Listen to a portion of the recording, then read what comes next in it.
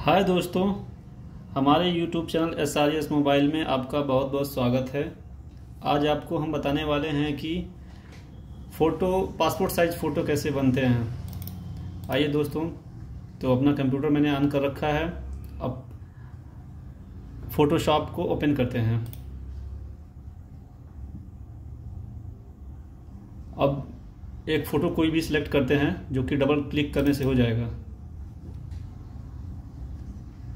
ये रहा फ़ोटो मेरा। फ़ोटो ओपन हो चुका है। अब उसके बाद इस फ़ोटो को सीधा करना है।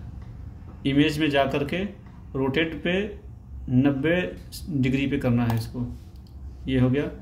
खुल गया।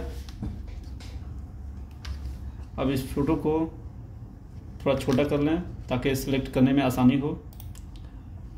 अब इस टूल से आपको सिलेक्ट करना है। टूल का नाम है क्रप्ट टूल और उसके बाद सिलेक्ट करें अपने फ़ोटो को। ये बहुत बड़ा हो गया, थोड़ा और छोटा कर लें।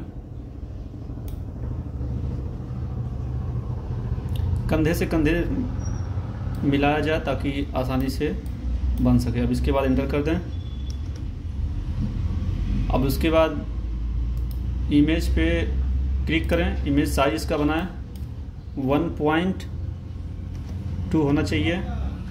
उसके बाद ओके कर दें। उसके बाद फिर न्यू फोल्डर लें। न्यू फोल्डर के बाद इसमें सेलेक्ट करें ए फोर साइज़ तो दोस्तों, हमने न्यू फोल्डर ले लिया है। न्यू पेज और उसके बाद से इस पेज पे अपने पासपोर्ट साइज़ को जो मैंने बना कर रखा था, उस पर कंट्रोल प्लस अल्ट आपको प्रेस करना है एक साथ, उसके बाद अपने फ़ोटो को पकड़ के ले आकर यहाँ पे छोड़ देना है। उसके बाद इसको अपने कंट्रोल दबाए रखें और उसके बाद फ़ोटो को जहाँ पे ज़रूरत है आपको वहाँ पे सेट कर लें। अब उसके बाद इसमें फ्रेम लगाना ज़रूरी होता है, जो कि आपको एडिट में जाएँ। एडिट में जाने के बाद स्टॉक में जाएँ। स्टॉक में जाने के बाद आपको ये खुल जाएगा, कुछ इस तरह होगा। और उसके बाद चार फिक्सल या तीन फिक्सल दो फिक्सल जो भी लगाना चाहें, जितना बारीक फ्रेम लगाना चाहें, आप लगा सकते हैं। हम चार फिक्सल का कर देते हैं, अब ओके कर देते हैं। देखिए फ्रेम लग चुका है इस पर अब उसके बाद इस फ़ोटो को फिर से छः पेज बनाना है मुझे। फिर कंट्रोल प्लस अल्ट दबाना है एक साथ और फ़ोटो को निकाल सेलेक्ट करके साइड में फिर रख देना है। फिर इसी तरह करना है। इसी तरह करके और अपना पूरा पेज को भर दें।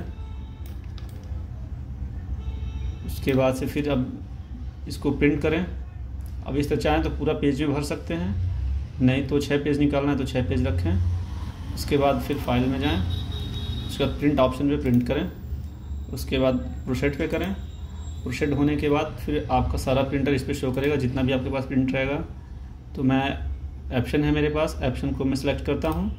उसके बाद इस ऑप्शन में जाता हूँ। ऑप्शन में जाने के बाद इसकी क्वालिटी को तेज़ कर, ज़्यादा करता हूँ।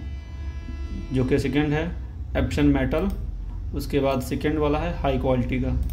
हाई वाले पे करते हैं ओके करते हैं, और उसके बाद प्रिंट करेंगे, ये प्रिंट कर देगा। तो दोस्तों, हमारा चैनल आपको कैसा लगा?